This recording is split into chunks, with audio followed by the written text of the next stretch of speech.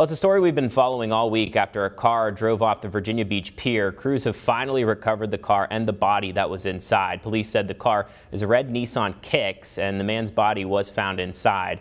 There were no license plates on the car, so they'll have to use the car's VIN number to find out where it came from. First responders say the driver uh, got into the water, or the divers got into the water around 9 a.m. and were told visibility was still bad today.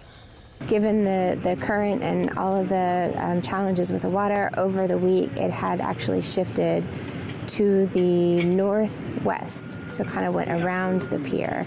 So they used sonar to identify exactly where the vehicle was, and then a diver went into the water, one of Crofton's divers.